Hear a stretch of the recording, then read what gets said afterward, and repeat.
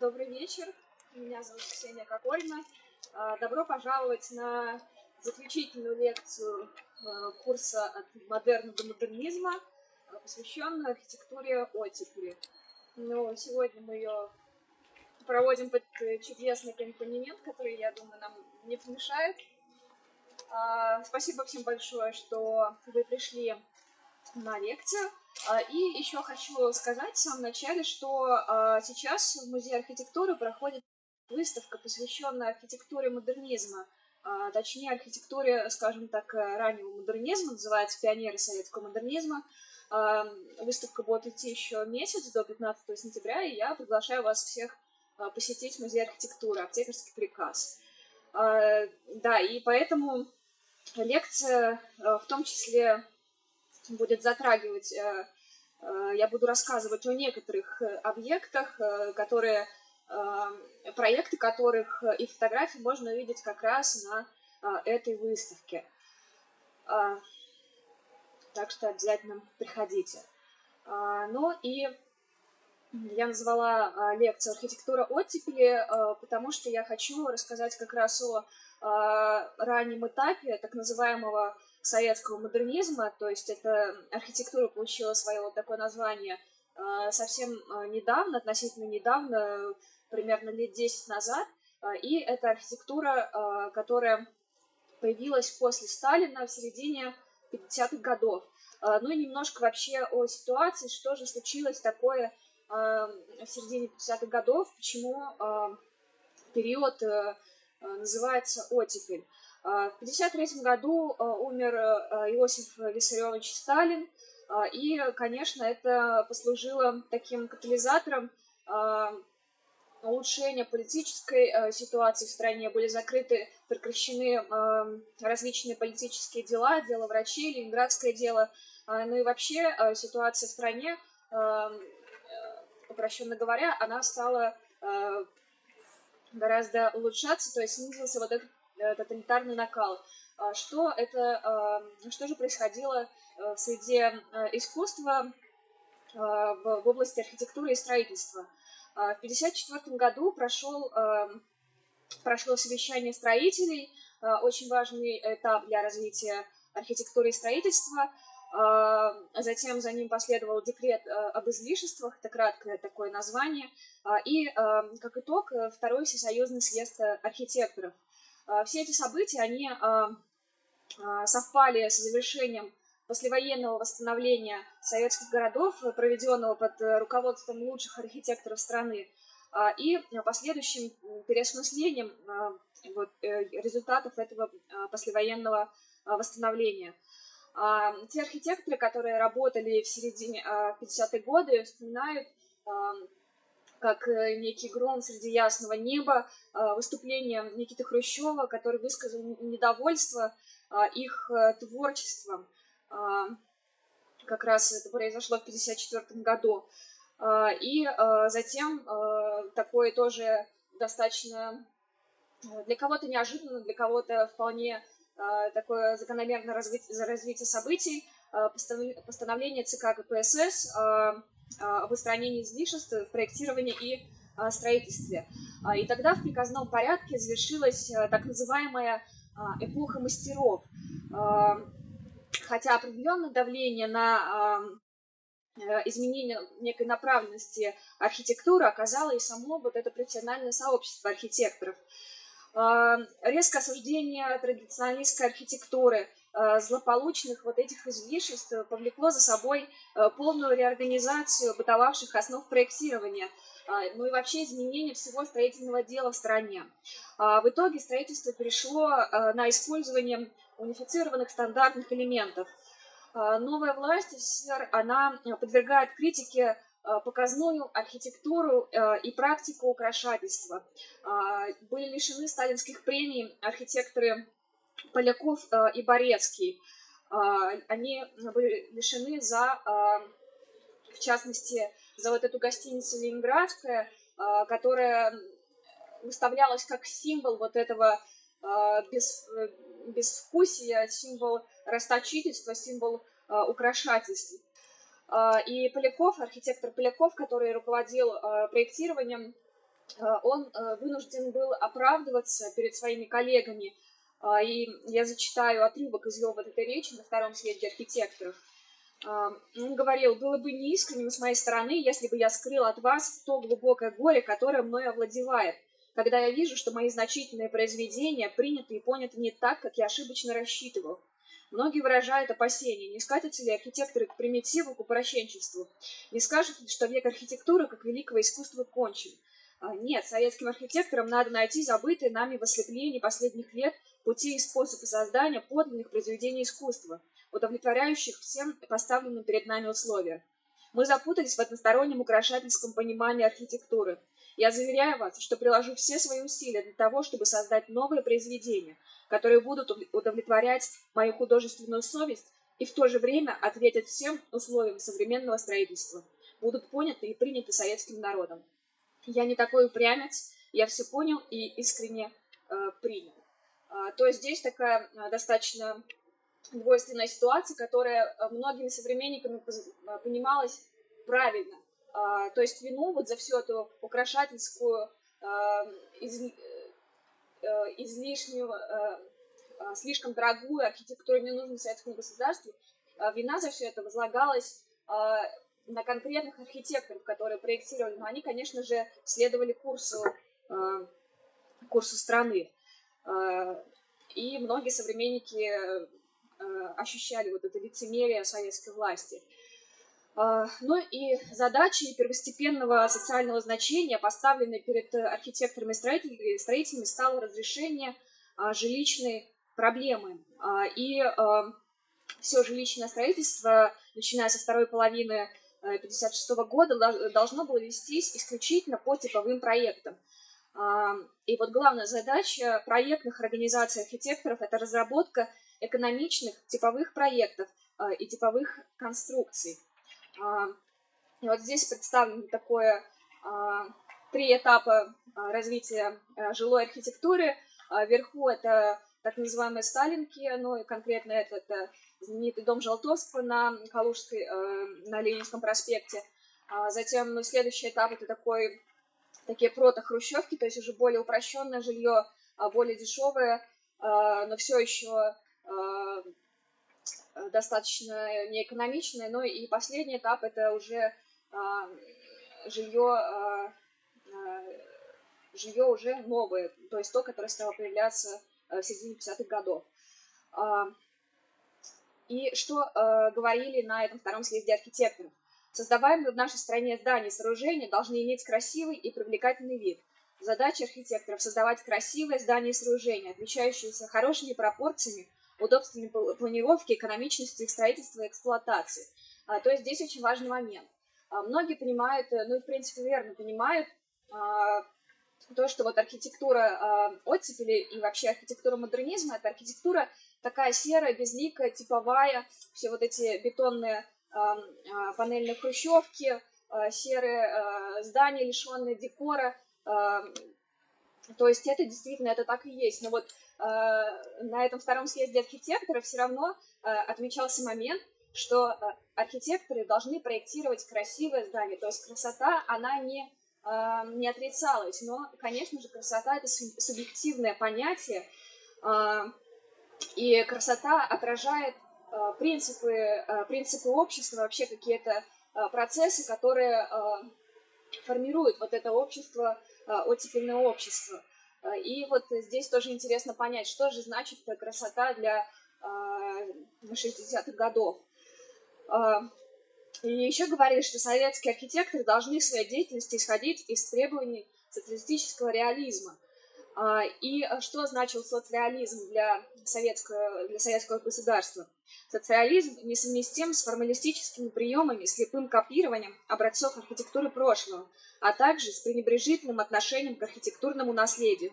Простота, строгость форм, привлекательный внешний вид и экономичность решений, забота о бытовых удобствах – таковы ведущие, определяющие черты советской архитектуры. А, то есть здесь тоже очень важный момент. С одной стороны, кажется, что все а, ведет к тому,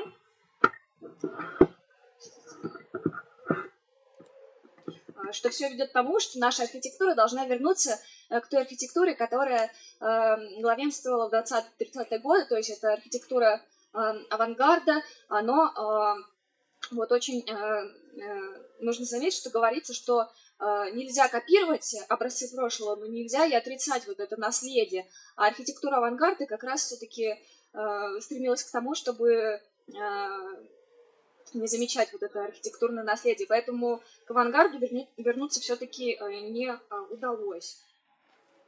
И э, еще порицалась в архитектуре рутина, косность, формализм, эстетство и, далее цитаты, и другие извращения.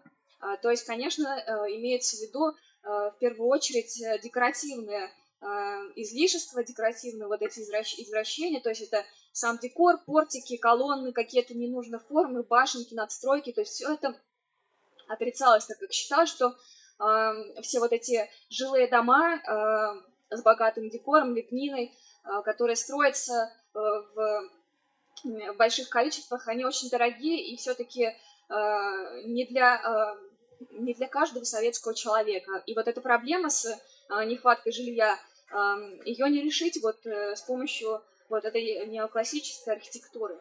А, ну и архитекторам поставили такие три важнейшие а, задачи, которым они должны следовать. В первую очередь архитектор должен обладать строительно-техническими знаниями, знать свойства и особенности материалов, конструкций и так далее. Архитектор обязан самым тесным образом творчески сотрудничать с конструктором, инженером, строителем и техником. Ну и архитектор должен быть тесно связан со всей строительной промышленностью не только как потребитель, архитекторы должны непосредственно работать в строительной промышленности.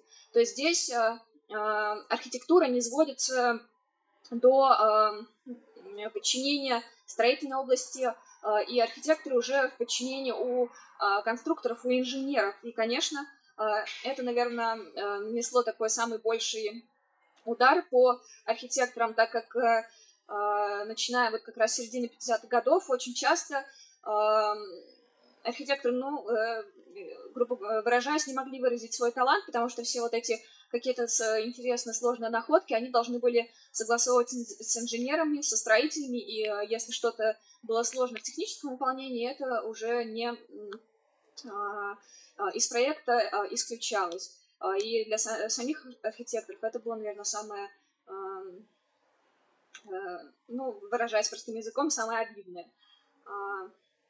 И вот этот э, перелом развития архитектуры и градостроительства, произведенный сверху, все-таки был а, мягче а, предшествующему ему перевороту середины 30-х годов, когда авангард объявлен вне закона, благодаря расширению возможностей, обусловленному политической, именно политической оттепелью. И градостроительному опыту эпохи восстановления городов э, добавляются и возможности международного отношения – и такие очень э, знаковые события, это а, прошедший в 1957 году Всемирный э, фестиваль молодежи и студентов. А, лозунг был «За мир и дружбу». Фестиваль проходил две недели и стал э, во всех смыслах значимым и взрывным событием для советской молодежи и самым массовым за всю историю этих фестивалей. А, и а, современникам он запомнился атмосферой свободы и открытости. А, приехавшие иностранцы свободно общались с москвичами. Это не преследовалось. Для свободного посещения были также открыты Московский Кремль и парк Горького. И вот это как раз реклама, даже не реклама, а зарисовка фестиваля из журнала «Техника молодежи», а, с шести континентов на фестиваль. А, шестой континент, а, имеется в виду Антарктида, там была советская экспедиция, и вот молодежь, советская молодежь Антарктиды также приехала на этот фестиваль.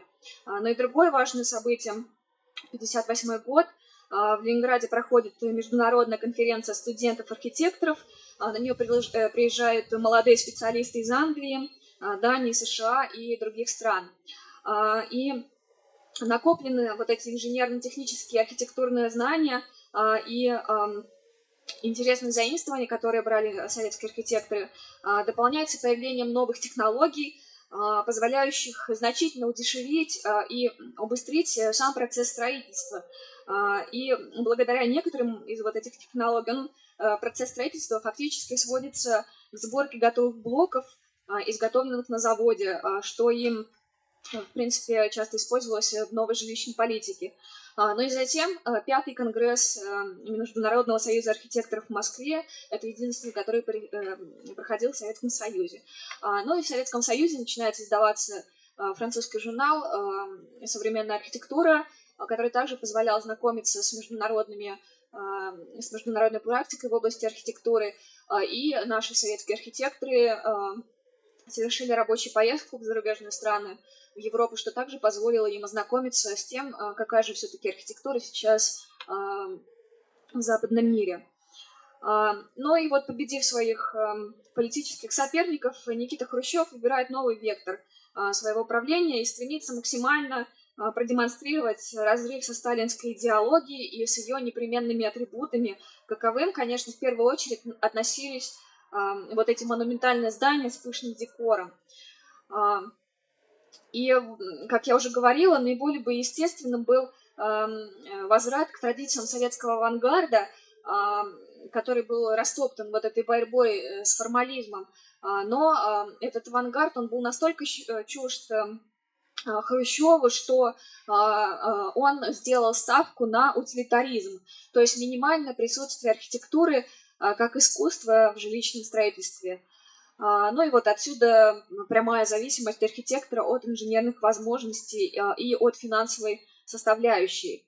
А внешний облик зданий был призван продемонстрировать политику экономики, политику экономики. И Конечно, в таких условиях э, не было очень много а, средств, э, возможностей для творческого самовыражения. Фасады зданий перестали украшаться какими-то элементами декора, но зато а, появляются уже новые допустимые типы декора. Это, конечно же, монументально-декоративное искусство, как э, такое, как а, мозаики, какие-то росписи фасадов. И основные темы оттепель – это мир, труд, спорт, природа и, конечно же, космос. А, ну и поговорим немножечко про жилье, про жилую архитектуру. А, первым а, опытно-показательным микрорайоном стал девятый квартал э, девятый квартал новых черемушек, который строился, начал строиться в 1956 году. В этом квартале были опробованы новая планировка микрорайона, новый тип жилых домов, Э, планировка квартир и отделка.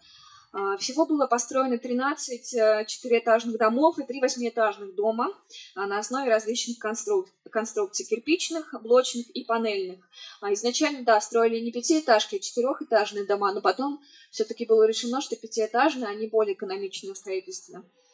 Ну и вот и некоторые из домов, э, построенных в новых черемушках, легли в основу типовых серий – которые возводились потом на протяжении всей хрущевской оттепели.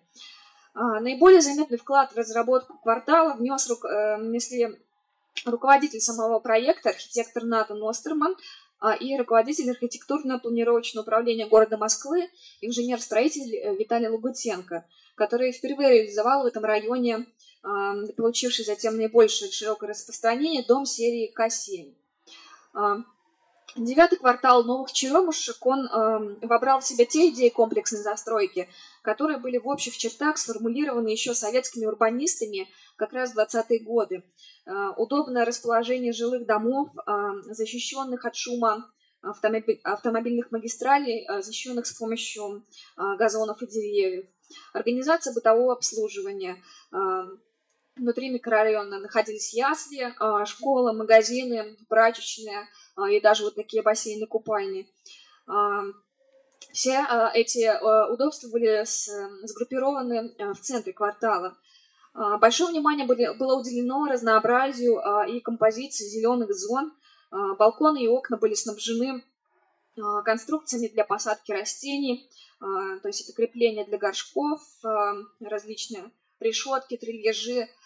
И в квартале а, было представлено большое а, разнообразие планировок квартир, э, квартир, но все эти квартиры отличались а, малометражностью и уже готовой схемой расстановки компактной мебели, тщательно разработанной проектировщиками. не знаю, видно ли издалека. Ну, в принципе, да, видно. Вот здесь схема заселения квартир семьями различного состава. То есть квартира выделялась в зависимости от состава семьи, но достаточно очень маленькие квартиры, то есть на одного человека примерно 9 квадратных метров. И, конечно, никогда не выделялось больше комнат, чем чем человек э, в семье. Э, то есть квартиры были очень-очень маленькие, чтобы человеку было минимум места, то есть э, не просторно, но еще и не совсем тесно. А, ну и предусматривались, была различная тоже компактная мебель, иногда складная, то есть многофункциональные кровати, диваны, раздвижные столы, Э, компактная кухня, то есть, в принципе, то, что э, живет до сих пор, а, и я думаю, каждый видел такую мебель. Но и жильцы могли заказать такие а, предметы интерьера по каталогу, а, то есть э, жильцы приезжали, большая часть советских граждан жила либо в коммунальных квартирах, либо в каких-то деревянных бараках или подвалах, то есть условия были совершенно неприемлемые. И для очень и, э, конечно, повлияла очень сильно война. Э, например, те, кто жили в Ленинграде, особенно в деревянных домах, э, например, дом был, деревянный дом разобран на, на отопление, на дрова, возвращ, возвращается солдат, а ему жить негде. Вот он пишет письмо, это реально, из реального письма архитекторам, что вот я 10 лет стою в очередь на квартиру. Сначала был 600 прошло 10 лет, теперь я 300 и что ждать еще 10 лет. вот они все это время, он с матерью живет в каком-то совершенно жутком подвале. А, ну и а, а, мебель тоже проектировалась очень компактно, чтобы вот эти люди, они не, тащили за собой какую-то свою старую отжившую мебель, либо мебели у них не было вовсе. И вот после заселения этих первых кварталов, ну вот так вот он выглядел, Э, после заселения кварталов а, архитектурное общество ожидало а, э, многоступенчатой критики вот этого первого опыта а, реализации типового жилья. Там было за что критиковать. Это, как я уже говорила, минимальный метраж, слабая звука и теплоизоляция, э, эстетическое однообразие домов. Однако реакция она оказалась прямо противоположной. Посемейное заселение квартиры было воспринято привыкших вот к, этих, к этим коммуналкам, к баракам э, жильцами, как а, настоящий некий социалистический рай, а проект признан успешным. А, и по воспоминаниям ученого а, Ханмагомедова, глаза жильцов светились счастьем, они взахлеб объясняли нам, какая-то колоссальная разница – комната в коммуналке и отдельная квартира, пусть крохотная. А, но и многие из э, опробованных в девятом квартале новых черемушек жилые дома были запущены в середине э, производства а, и получили большое распространение по всему СССР. А, ну вот и это уже живопись Юрия Пименова, тоже начало 60-х годов, которая отражает вот это настроение той эпохи. Здесь слева а мы видим стройку а, вот этих каких-то новых кварталов, районы завтрашнего города. А, и справа свадьба, по-моему, называется свадьба на завтрашней улице, как-то так. То есть молодая пара идет по еще по мазкам среди стройки.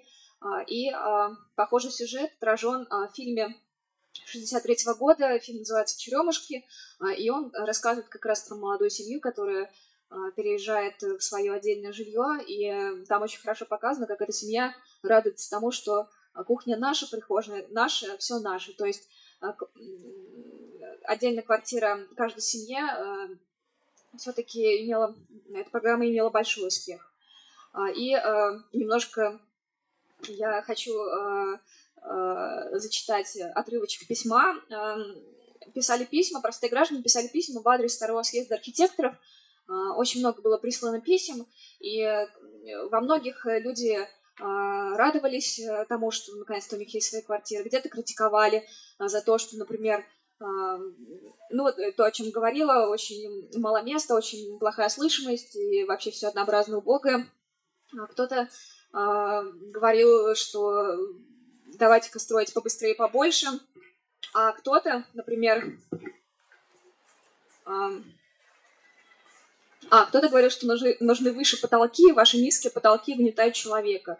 А, и подписал длинное письмо, и подписались э, такой подписью. Люди, живущие в доме с низкими потолками и среди диких звуков со всех сторон. А, и а, инженер, женщина-инженер пишет такое письмо. В общем, в этом письме, она достаточно длинная, не буду читать его все. Это две женщины из одной семьи, и они пишут, что они обращаются от имени многих сотен тысяч, тысяч женщин которые хотят жить полноценной общественно-политической и культурной жизнью.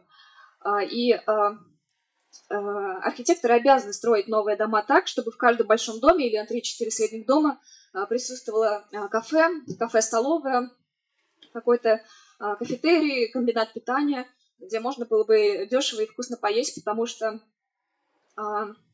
большинство мужчин хотят домашний обед, но эти женщины не работают наравне с мужчинами, и они не могут э, после работы еще уделять время готовке.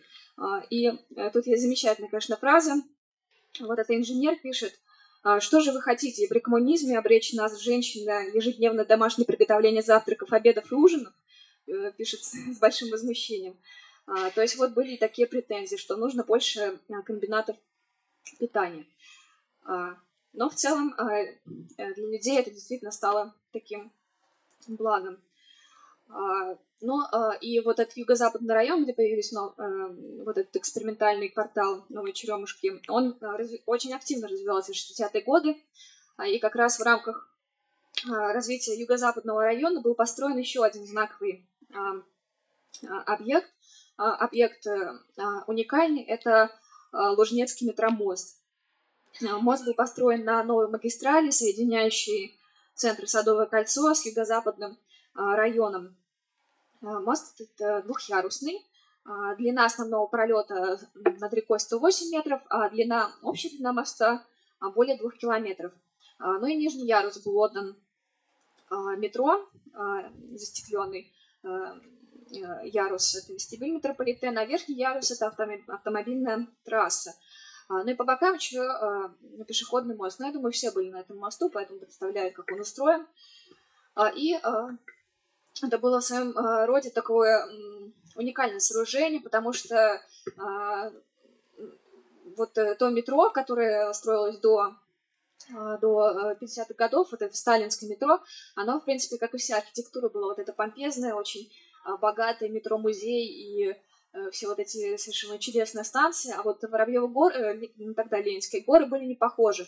А там вот эту роль вот этих красот, красот нашего метро играла природа, потому что а, станция абсолютно безликая, серая, а вид создают вот именно а, вид Воробьевых гор и э, Лужников и главного здания а, МГУ. Ну и рядом располагалась такая эскалаторная галерея, которая поднимала людей наверх. К сожалению, галерея, да, была полностью стеклянная. Стеклянная архитектура — такой как бы подобрать правильное слово, а, очень характерная а, стеклянная архитектура для оттепели, вот эта э, эпоха открытости, эпоха легкости, э, это все нашло выражение вот в, именно большом использовании стекла. А, к сожалению, эскалаторная галерея, она не сохранилась, полностью, по-моему, уже разрушена, но собираются вроде как восстанавливать. Может быть, мы и увидим, как она выглядела тогда. Типовое проектирование, а, в принципе, это э, архитектура модернизма, это э, советского, это а, типовое строительство, типовое проектирование.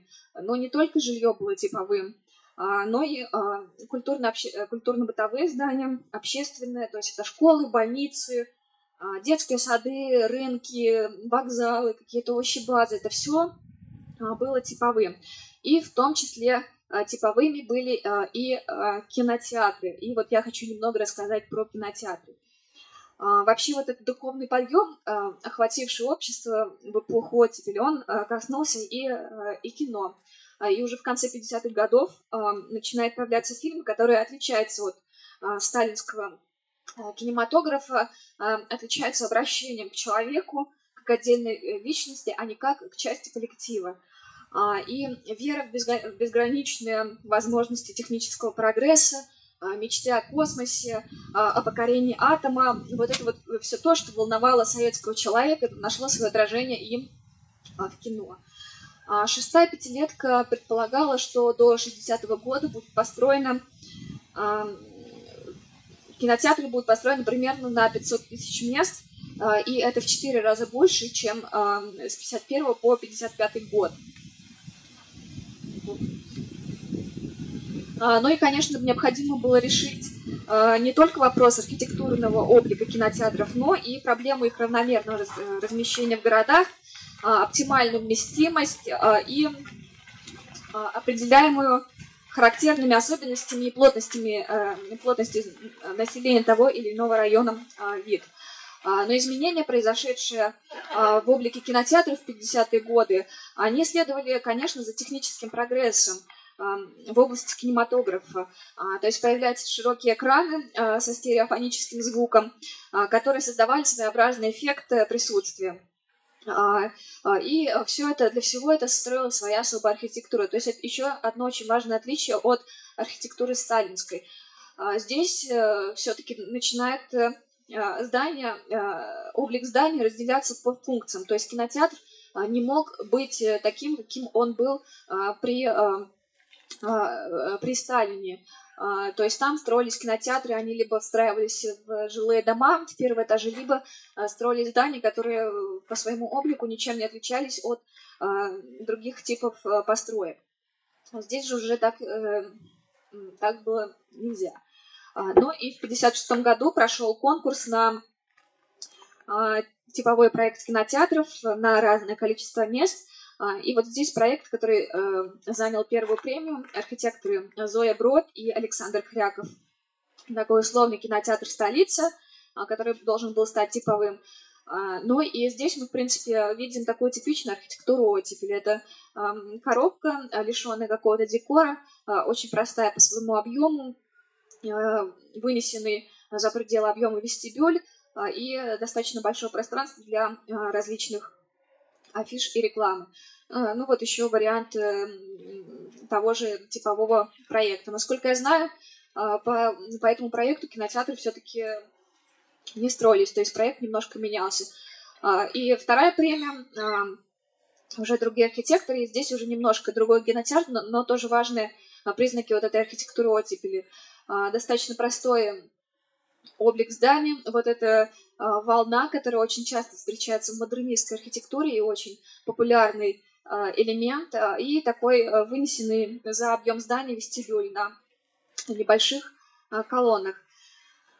И это все были кинотеатры на 400-800 мест, то есть достаточно такие компактные. Но чуть позднее прошел конкурс на кинотеатр на 4000 мест, и там есть, конечно, совершенно удивительные проекты. Этот конкурс был на э, кинотеатр а, универсальной, универсальной проекции, в котором можно демонстрировать фильмы как на обычном, так и на широком и панорамном экранах. Подобным, подобных кинотеатров не было нигде в мире, поэтому советским архитекторам э, предлагалась, э, предстояла важнейшая задача первыми создать не имеющие не имеющие аналогии как в техническом, так и в архитектурном плане сооружения. А, очевидно, что к проектированию подобного рода зданий нельзя подходить обыденно, а, и проект архитекторов Леонида Павлова, Лидии Гончар и инженера Юлия Роскевича показывают вот как раз эту необходимую смелость архитектурных решений и новаторство инженерного подхода. А, самым ярким акцентом э, этого кинотеатра является а, летящая кровля. А, и вот это образ, который, в принципе, станет одним из символов архитектуры оттепели. И истоки этого образа нужно искать э, в архитектуре конечно, авангарда.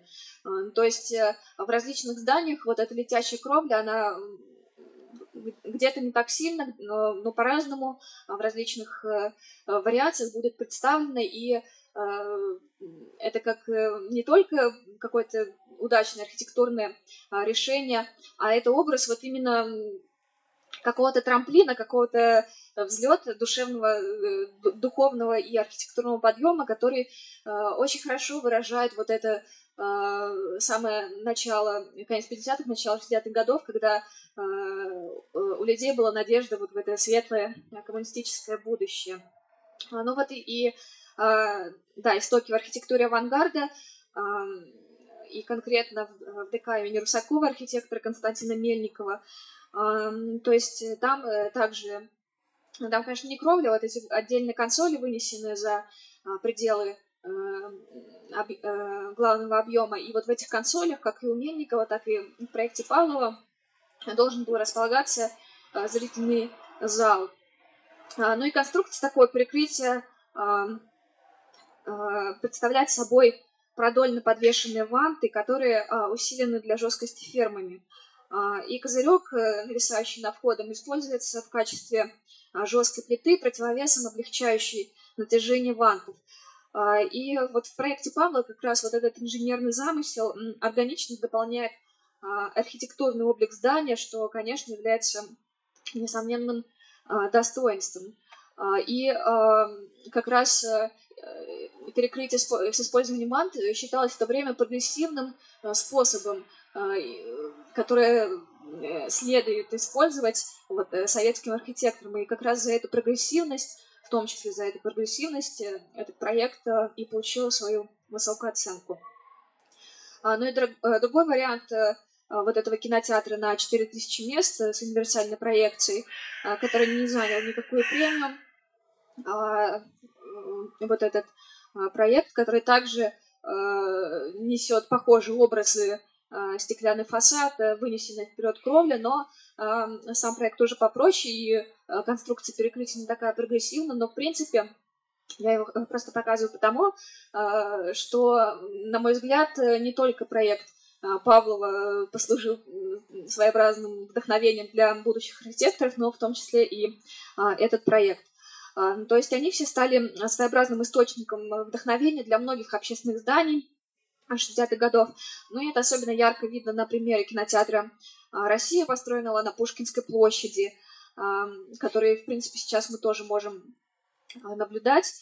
И в первоначальном варианте проект, э, в первоначальном проекте кинотеатр представлял собой а, близкий к квадрату э, в плане основной объем здания, а, со стекленным с трех сторон фойе и, и с таким своеобразным дугообразным фронтоном, а, где вместо классических скульптур э, помещалась бы реклама кинофильмов. Но несмотря на то, что сквозь вот этот стеклянный фасад просматривался и марш широких лестниц, и наклонный потолок фойе, сам облик кинотеатра, я думаю, это очень хорошо видно, был довольно-таки классическим такой, такая аллюзия на большой театр, потому что перед ним располагалась еще большая, достаточно масштабная площадь. А, но потом проект изменили, а, и вот а, как он был построен.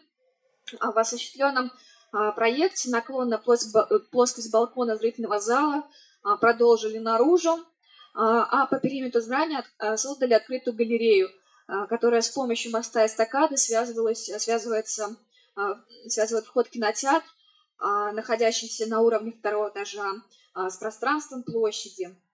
Ну и вот как раз здесь опять возникает вот этот образ летящей кровли, вынесенной над э, стеклянным фасадом. И это образ, который прочно закрепился в архитектуре общественных зданий и, конечно же, в архитектуре кинотеатров, которые потом строились по типу вот этого кинотеатра России. Например, а, кинотеатр Первомайский, построенный уже в конце 60-х. А, в принципе, здесь видно а, вот этот э, облик России, и, к сожалению, этот кинотеатр, как и многие другие, сейчас очень сильно изменил свой облик, и ничего уже не осталось вот от этого раннего модернизма.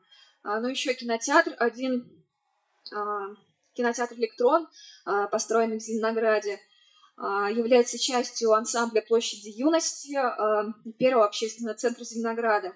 А, этот кинотеатр представляет собой два пересекающих объема зрительного зала и фойе.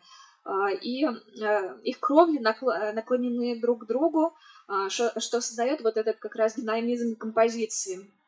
Фасад, опять же, традиционно остеклен, и накрыты козырьком кровли.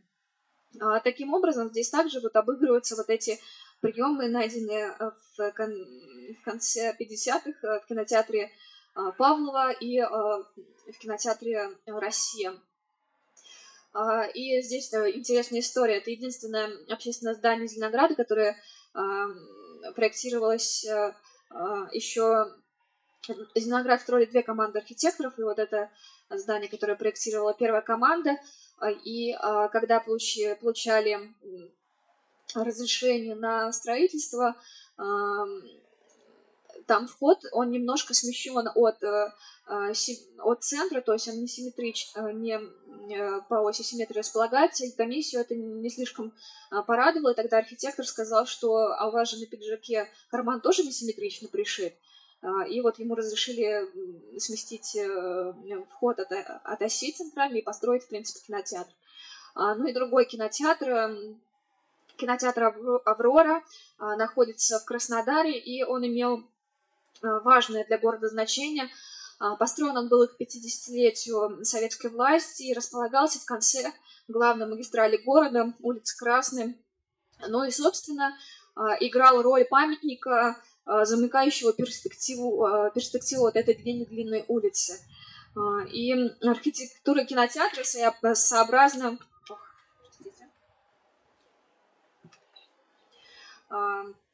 Своеобразно вот этому его монументному образу.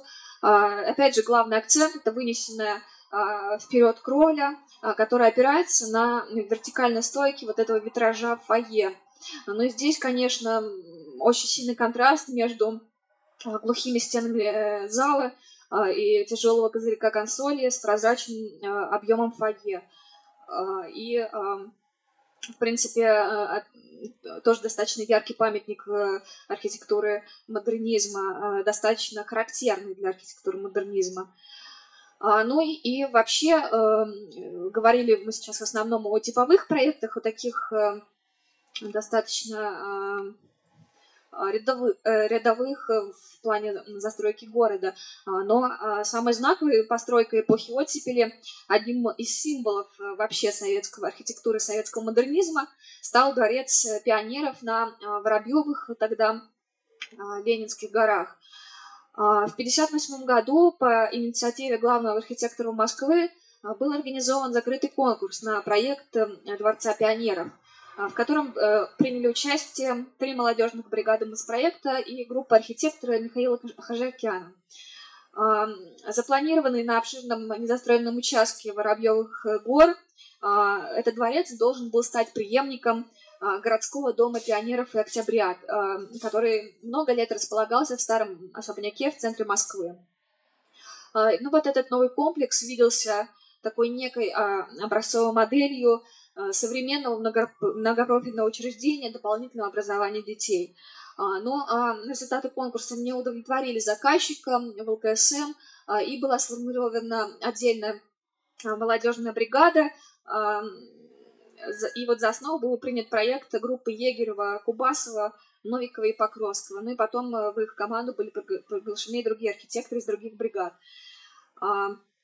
Комплекс дворца запроектирован а, в парке, а, где свободно располагаются невысокие строения. То есть здесь э, э, архитекторы, они хотели отойти от э, такого классического понимания дворца, то есть избавиться вот от этой четкой симметрии, когда вход находится прямо напротив, вход в парк прямо напротив фасада, а само здание не выражает а, оно едино по объему и различные функции э, все вот в этом едином объеме и э, классический э, центральный фасад, широкие крылья, двор. То есть они хотели уйти вот от этого понимания дворца. А, и вот они расположили свой главное здание асимметрично входу, и вот это э, эскиз генплана, поэтому, может быть, не так сильно хорошо понятно. А, вот вход здесь, а, и вот само вот это здание. То есть вход, он достаточно э, асимметрично э, корпусу дворца. А, и сам дворец состоит из вытянутого вдоль главной площади, центральной площади главного корпуса, состоящим из анфилады парадных, выставочных и игровых залов. Этот корпус замыкается планетарием, и вот главный корпус, вход. Здесь три корпуса для кружковых занятий. С этой стороны планетарий и клуб занимательной науки, а с этой стороны концертный зал. И все это, э, все, все эти корпуса связаны э, в единый объем. То есть здесь каждая функция, функция вынесена в свой объем, а, но все они соединены а, в единое здание. А, и в корпусе занимательной науки на первом этаже находится кафе. Из него открывается перспектива в сторону стадиона и озера. И отсюда вот такое решение э, интерьера. Чтобы избежать наружных опор по а, контуру э, криволинейного в плане помещения, архитектор здесь а, проектирует перевернутую монолитную оболочку, опирающуюся на один столб.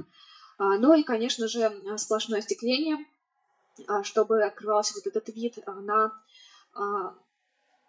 на ландшафт, на природу. Нужно отметить, что здесь э, до Дворца пионеров э, здесь ранее находился заказник Академии науки и росли какие-то ценные породы деревьев, Э, когда началось строительство дворца, эти деревья, они э, сохранялись, э, и к ним было очень бережное отношение, то есть даже огораживали заборчиком, чтобы, не дай бог, не пострадало. Поэтому, когда дворец был построен, там уже росли взрослые деревья, что, конечно же, смотрелось, я думаю, достаточно выигрышно. То есть здесь связь архитектуры и ландшафта, которую так любят, о которой так любят э, говорить архитекторы, она здесь достаточно сильная. И не только с помощью вот этого сплошного остекления, но и с помощью самого бережного отношения архитектуры к ландшафту. А, ну и со стороны э, парка главному зданию пристроены три корпуса кружковой работы. А, там располагались э, секторы драматического искусства, кукольный театр, театр теней, а, Э, потом был концертный зал, э, различные мастерские и прочее. А, и вот это обращенные в парк объемы, они образуют такие изолированные дворики своими небольшими масштабами, контрастирующие с обширным пространством центральной площади и создающие ощущение интимности и уюта. Ну вот эта современная фотография и здесь, э, в принципе, может показаться, что э, это такое вот современное состояние, но на самом деле, как я уже сказала, э, деревья эти э, росли тогда, и, в принципе, тогда, э, в 60-м году, в 61-м, дворик этот выглядел, я думаю, ну, примерно так же. А, и э, в композицию вообще Дворца пионеров вводились, расположены на разных уровнях террасы, спуски, открытые лестницы – а, подпорные стенки, то есть э, ландшафт он не был таким однородным. И вот вся вот эта композиция, она ломала э, представление о дворцовости а, и э, отражала функциональное назначение сооружений.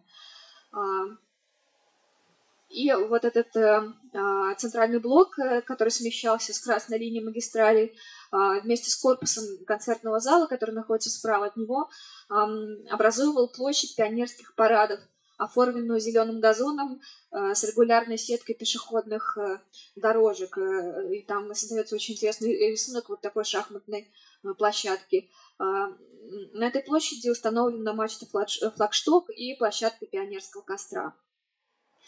Важную роль в образе дворца играет монументально-декоративное искусство. То есть к работе были приглашены художники, скульпторы, которые наравне с архитекторами создавали образ э, э, вот этого дворца пионеров. А, самое большое панно 30 а, на 18 метров располагается на стене э, концертного зала. Называется оно «Пионерская геральдика». А, представляет собой пионерский костер, там изображен пионерский костер, звезда, горн и вот такая черная вертикальная сетка – это некий символ роста. Стена была облицована белым натуральным камнем. По шаблонам выкладывались контуры рисунка. И в эти контуры укладывали глазурованные керамические плиты двух цветов. Красные и черные. Также украшены панно кружковые корпусы. Там был триптих стихи, то есть каждого корпуса свое панно. Это вода, земля и небо. И э, все вот они посвящены этой одной теме покорению человеком природы. Фон на них выкладывался из цветного кирпича одновременно с процессом кладки стены. Затем на фон наносились контуры изображения, и само изображение окрашивалось уже силиконовыми красками. То есть каждые вот эти внешние панно, они выкладывались по-разному. А, и вот здесь э, как раз пионеры стоят на фоне, э, на фоне панно авиации, и вот это же панно авиация э, в таком эскизном варианте, эм, как оно должно было выглядеть по замыслу художников. Ну и центральное место занимает а, панно юные а, панно юные ленинцы. Оно находится перед входом в дворец, и действительно такое яркое, яркое пятно.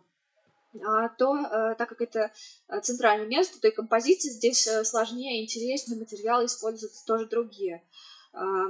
Выполнено а, из сумальты и керамики. И вот в центре а, сидят дети у пионерского костра. Это символ дружбы детей всего Союза. А слева от них а, уже выросшие пионеры, то есть уже пионеры, и справа немножко не влезло, не видно, а, это взрослые, которые воспитывают вот этих пионеров. А, ну и над входом в концертный зал располагался, располагается скульптурная композиция музыка, то есть это уже не, не мозаика, не панно, это скульптурный рельеф. И она вот таким своим спокойным цветом контрастирует с ярким пятном вот этого портика. Ну и дворец пионеров, а, конечно, а, уникальная история для архитектуры а, модернизма и подобной, подобных сооружений в эпоху оттепели было достаточно мало. Ну, то есть, я думаю, даже в России, именно в России не было подобных. И здесь как раз а, архитекторы воплотили все вот эти современные представления об архитектуре модернизма. Это а, простые а, объемы, сплошное остекление, сложные переходы, перепады высот, вот эти изогнутые лестницы. Внутри располагался зимний сад, над которым который освещался тремя куполами современных конструкций. То есть это э, архитектура, которой раньше в Советском Союзе не было. А, и когда э, Дворец пионеров э, только открылся, открылся он 1 июня 1961 года,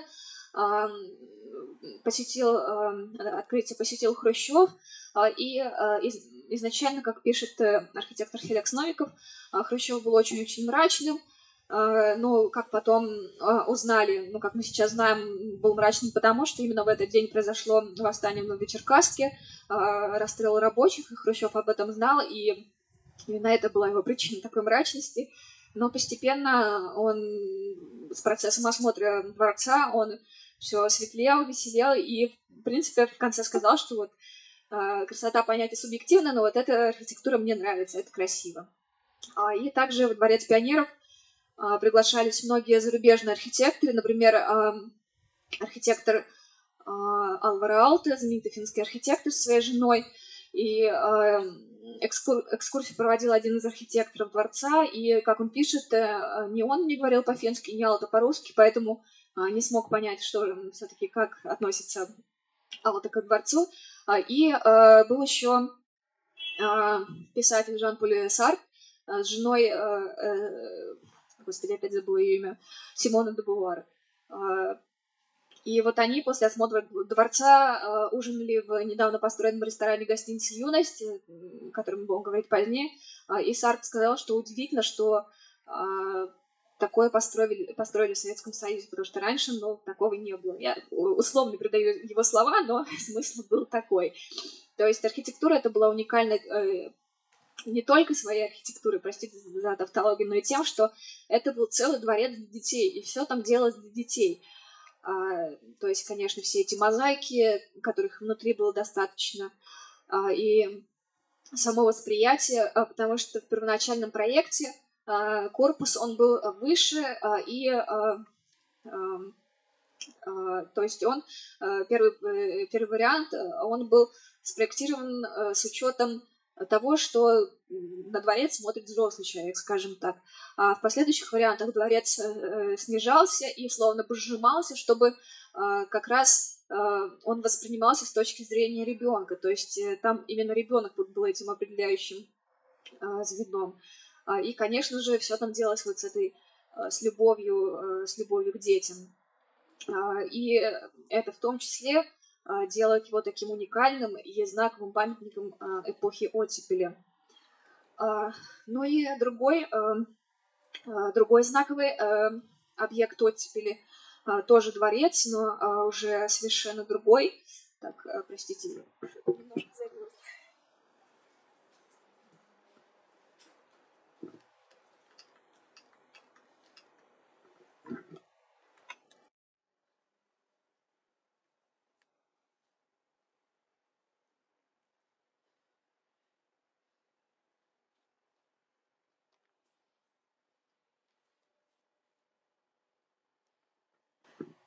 так, дворец съездов а, сейчас называется Государственный Кремлевский дворец, если не ошибаюсь. А, дворец съездов, он был построен как главное здание Советского Союза, вместо Дворца Советов. Проектирование, которое велось в то же время на юго-западе Москвы. Вообще в 50-х годах рассматривалось идея перемещения центра, э, центра Москвы на юго-запад. А, и а, Дворец Советов, э, э, ну, то есть, я думаю, да, наверное, многие знают, что это достаточно давняя история советского государства с Дворцом Советов. А, его хотели и пытались построить в 30-е годы. Там уже был выбран проект группы Яфана. Наверное, видели изображение этого высокого монументального дворца со, со статуей Ленина Ленина, Ленина на вершине. А, снесли храм Христа Спасителя, вырыли котлован, но потом а, пришла война, и, в принципе, стало не до дворца. А потом уже на этом котлов... в этом котловане построили бассейн Москва, и для Дворца Советов выбрали другое место, юго-запад. И он должен был располагаться, я думаю, ну, где-то на том же месте, где сейчас находится библиотека МГУ. Вот, и был проведен конкурс, э, был выбран рабочий рабочая группа сформирована, которая занималась а, проектированием не только Дворца Советов, но и вообще всего юго-западного района. То есть различные дома культуры, клубы и так далее. А, и а, как-то Хрущев достаточно быстро охладел к этой истории с главным зданием на юго-западе, и достаточно неожиданно для, для архитектора Дворца Советов а, был э, спроектирован и построен дворец съездов в Кремле, и, в принципе, надобность уже во Дворце Советов, она отпала, и э, никто уже не хотел переносить центр э, из Кремля, и проектирование на юго-западе постепенно сошло, сошло на нет. Ну и вот появился у нас такой дворец съездов. Для возведения Дворца Светов выделили территорию на западе Кремля. Э, эту территорию занимали э, классицистические постройки XIX века. Они были все снесены, и среди наиболее значительных снесенных построек это старое здание оружейной палаты, построенное в начале XIX века, или потом оно стало зданием казарм. А, первоначальный план Дворца Съездов э, не требовал сноса исторических зданий а, и предусматривал э, вписание главного зала в архитектуру бывшего кухонного двора Большого Кремлевского дворца.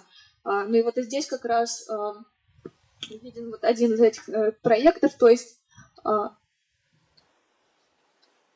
вот снесенное здание старой оружейной палаты, и вот этот дворец съездов. Обратите внимание, здесь на крыше такие террасы, что достаточно, мне кажется, не характерно для а, советского вот этого модернизма. А, ну и сейчас э, дворец съездов э, главным фасадом смотрит сюда, ну вот и объем идет вот так вот. То есть это здание хотели сохранить. А вот еще один проект с созданием казармы, вот оно, То есть изначально планировалось сохранить застройку. Но от этих планов отказались. Вот. Но потому что эти, как писали в, в, в прессе, эти постройки не несли исторической архитектурной ценности, и вообще планировалось там создать такой модернистский ансамбль. Вот. Но э, вообще отношение к историческим э, к исторической застройке в, э, в середине 50-х, в конце 50-х, начале 60-х годов было достаточно э, пренебрежительно. И для строительства, например, Нового Арбата тоже было снесено много э, таких незначительных зданий. А, для строительства гостиницы России тоже был снесен целый район. Так что я думаю, ценности такой Кремля а, еще тогда не сложилось. А, вот, поэтому это все снесли. В принципе, вот здесь как раз то здание, вот, казармы, это я, к сожалению, не знаю, какая функция, но дворец съезда, в принципе, стоит сейчас вот так вот. Его боковой фасад, и здесь находится его главный фасад. А, строительство а, дворца а, продолжалось всего 16 месяцев и велось практически одновременно с проектированием.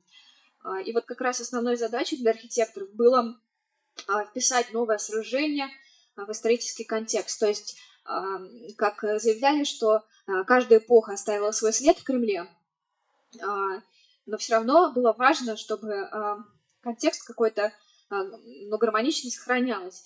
А, и чтобы не превышать высоту других зданий, дворец съездов был заглублен в землю на 15 метров. А, его а, облицевали белым мрамором того же цвета, что и Кремлевские соборы. А благодаря сплошному остеклению вот этих проемов между пилонами создавалась вот эта связь интерьеров дворца с внешней территорией Кремля. Ну и здесь вот, мне кажется, я думаю, такого эффекта добивались архитекторы. Здесь видно, как отражается а, застройка Кремля в фасаде дворца. А, и этот дворец, он предназначался для а, съездов, совещаний, всяких международных конгрессов и форумов, но также в свободное от этого время он являлся такой универсальный, универсальным театральным зданием. То есть там проходили различные концерты, фестивали, и это тоже, в принципе, было достаточно а, такой характерный признак эпохи оттепели. То есть а, не только открыли Кремль, который ранее был закрыт, но и вообще в главном здании страны позволяет находиться простым людям. Мне кажется, это достаточно яркий признак. А, и а, ограниченные размеры участка, они предопределили вот такой компактный композиционный, композиционный прием. А, и вот если снаружи э, фасад, он, в принципе, не представляет собой какой-то какой-то пластической сложности, а, то внутри его интерьеры получили многоплановое, развитое по вертикали открытое построение. И вот всюду, где это было возможно, одно пространство сливается с другим, перетекает друг в друга, Э, и э, это, на мой взгляд, один из э, признаков, в том числе архитектуры авангарда. Ну вот здесь представлены примеры интерьеров, то есть какими они могли быть. Я почему-то не догадалась ставить фотографию, как выглядит интерьер сейчас, но сейчас, мне кажется, выглядит не так интересно. А внутри работы художника Александра Деймеки, мозаичные рельефы. Вот. И, в принципе, да, интерьеры очень многоплановые. А, и однако вот цельность этого композиционного приема и вот та, ну, скажем так, относительная незаметность, которую архитекторы хотели придать дворцу, она нарушается из-за венчающего здания банкетного зала, который, не знаю, по легенде, по пайке, был добавлен чуть ли не в самый последний момент, а, конечно, это не совсем так, потому что на проектных а, на проектных чертежах виден этот э, объем здания различных вариантов фасадов. Вот. Но все-таки э, вот этот банкетный зал, он немножко и нарушил эту небольшую высотность.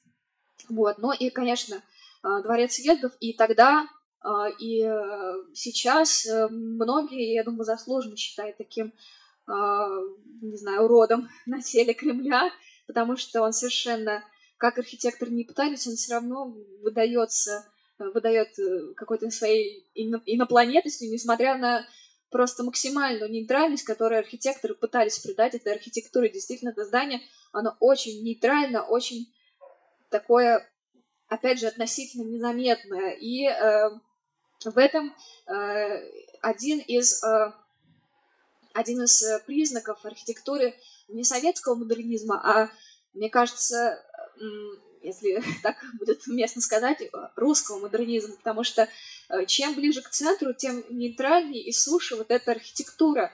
А, и вот здесь уже ну просто центрей некуда. Э, и поэтому дворец съездов такой немножко обезличенный. А, но вот архитекторы сделали все, что могли. Они получили за этот дворец а, Ленинскую премию, а, и существует свидетельство, что на банкете по случаю завершения строительства главный архитектор Михаил Пасохин а, назвал Никиту Хрущева главным зодчим дворца, а само здание – детищем оттепели. Ну и, конечно, я думаю, э, действительно можно назвать детищем оттепели, потому что э, не только архитектура, но и вообще сам факт того, что он находится в Кремле, то, что Кремль был открыт для посещения, это тоже характерный признак Э, эпохи оттепели. Э, ну и вначале я говорила о фестивале студентов и молодежи, который прошел в 1957 году. Э, и после этого фестиваля было принято решение о создании туристического, класс, туристического центра на юго-западе, опять же, на юго-западе Москвы. И вот гостиница «Юность», строительство которое завершилось в 1961 году, должна была стать частью вот этого туристического кластера. И эм, одной из новых э, социально-культурных доминант. А, простой, э, здание очень простое э, по своему объему, с выступающим вестибюлем. А, оно покоилось на, покоится на стилобате. А, в этом стилобате расположены общественная зона с рестораном, гостиной и административными помещениями. Также характерные детали эпохи модернизма, то есть когда здание покоится на таком протяженном стилобате. А, гостиница это поражала своей совершенно простой, какой-то искренней а, архитектурой, которая сейчас э, кажется достаточно скучноватой, ну, в том числе из-за того, что гостиницу облицевали какими-то жуткими керамическими плитами, а, но тогда вот этот ее спокойный цвет, вот это ленточные, ленточные окна, а, простота, все это, конечно, поражало. А, но интерьер там был а, гораздо, опять же, интереснее фасада. Например, там была мозаика или роспись освоения космоса Бориса Тальберга. К сожалению, не удалось найти современных фотографий. Вот, то есть была совершенно какая-то простота и искренность, характерная для архитектуры оттепели. А, и сама гостиница, то есть если раньше, например, гостиница Москва, там есть номера как самые дешевые, какие-то коморки, так и э, большие люксы, то тут все номера были одинаковые площади, ну, только некоторые были двухместные, а некоторые трехместные. А, то есть вот эта простая какая-то немножко наивная архитектура, она стала таким откровением для Советского Союза. А, и в этом одна из ее ценностей. Ну, еще один объект это музей космонавтики э, имени Циолковского, э, находящийся в Калуге, построенный в 1961 году. А, музей э, вообще, музей достаточно такое нетипичный тип здания для советской архитектуры. То есть ранее для музеев не строились отдельные, опять же, какие-то здания. А здесь же это вновь, как и Дворец пионеров, уникальная история. То есть это абсолютно не типовой проект. А, был проведен конкурс, в котором приняло а, участие а, более 200 проектов, 224 что ли, и построен был по проекту архитектора группы Бархина. То есть это уникальное, уникальное здание, то есть это абсолютно не типовая архитектура. И, как пишут исследователи архитектуры, Э, вся прелесть э, этого музея в монументальности а, и а, дерзкой динамичности. То есть здесь здание в форме такого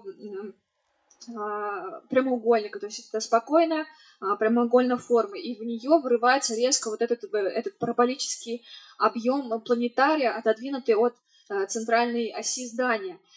И в облицовке фасада применяются алюминиевые панели, которые подчеркивают эту космическую сущность космическую сущность музея. И вообще тема космоса — это, наверное, самый такой э, популярный источник вдохновения не только для а, архитектуры, но и вообще для всех видов искусства, потому что, как известно, в 1957 году Советский Союз первым запустил спутник, а в 1961 а, впервые полетел человек в космос. И для советского человека вот эта тема космоса стала а, такой а, важной составляющей а, важной составляющей жизни, важной составляющей искусства. И, конечно же, это очень сильно отразилось на архитектуре. Но вот на прошлой лекции я показывала очень много проектов для состоявшейся московской выставки, а, Всемирной выставки 67 года, и там видно вот это влияние космоса. А, и э, еще хочу показать это а, работы Вячеслава Локтева, также 60-е годы. И здесь, э, опять же, влияние темы космоса и темы вот этих э, типового жилья. Называются эти работы «Межпланетные грудолеты», то есть такая Э, такое проживание э, вот этих двух э, важных тем 60-х годов. А, но еще это как раз проект павильона освоения космоса планета, спроектированный архитектором Поляком для Московской всемирной выставки в 1967 году. А, и обратите внимание, это вот тот самый Поляков, которого лишили сталинской премии за гостиницу «Ленинградская», которого просто обругали как можно и как нельзя – а, совершенно незаслуженно его обругали, и это его э, подкосило его здоровье, он очень долго болел, и потом он, вот как я зачитывала, очень унизительно, на мой взгляд, э, оправдывался, извинялся и говорил, что он сделает все, чтобы создать ту архитектуру, которая будет удовлетворять вообще требованиям, запросам времени эпохи. И вот он здесь предложил совершенно футуристичный проект вот этого шара, внутри которого а, должен был располагаться концертный а, кинозал, а, экспозиционный зал, и этот шар э, а, каким-то образом, не знаю, каким-то чудом висит на вот такой орбите опоре. А, то есть этот проект, конечно, как и многие другие проекты этой выставки, был очень футуристичным, но вот здесь вот тема космоса — это просто определяющий. Еще очень важный момент, опять же, проект э, для той же выставки того же архитектора Леонида Полякова — а, отраслевой павильон, который называется «Архитектура и строительство». А, как я говорил в начале, а, архитектура после 1954 года была унижена до, скажем так, унижена до понижения, подчинения строительству, и была образована Академия строительства, архитектуры, то есть строительство на первом месте, а потом уже архитектура. Было Э, журналы строительства и архитектуры Москвы, то есть строители э, впереди, а вот Поляков делает павильон, который он называет архитектура и строительство. А, и мне кажется, он сделал это, я думаю, он сделал это намеренно. А, Все-таки архитектура, она впереди всего. Ну и вот я в такой достаточно краткой манере рассказала э, немного об архитектуре оттепель вообще, а, о, о том, что же это за архитектура. То есть это, с одной стороны, такая типовая, а, достаточно безликая архитектура, с другой стороны, это какие-то индивидуальные проекты, которых, конечно же, было мало. И вот этот первый этап архитектуры модернизма, это такой этап, конечно, этап полный, с одной стороны, и непонимания, как же строить дальше, как проектировать дальше, и, но с другой стороны, это этап э, надежды на а, какое-то светлое коммунистическое а, будущее. Но, к сожалению, не все получилось так, э, как э, мечтали об этом архитекторы в 60-х годах. А, и, конечно, типовое, типовое проектирование и типовая застройка, она во многом, скажем так, подмочила репутацию модернизма. Но сейчас проявляется вот этот интерес, который, я надеюсь, а, поможет вообще осознать э, ценность этой архитектуры и ценность э, а, вот этих э, зачастую действительно уже сейчас каких-то ужасных от ужасной эксплуатации зданий. А, но я думаю, на этом лекцию можно закончить. Спасибо большое за внимание. Если есть какие-то вопросы, пожалуйста, задавайте.